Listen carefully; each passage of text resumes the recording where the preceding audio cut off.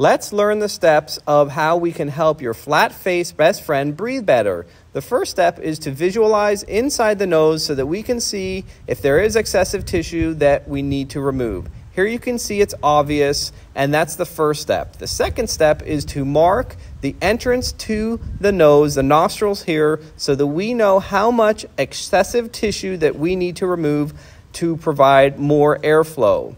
The third step here is to use our laser once again to make an incision and remove this excessive tissue and notice how there is minimal to no tissue trauma and minimal to no bleeding. Once this has been accomplished, we will then be able to visualize inside the nasal passage. And that brings us to step number four, which will be laser ablation inside the nasal passage to remove all that tissue. And now, finally, your dog can breathe better.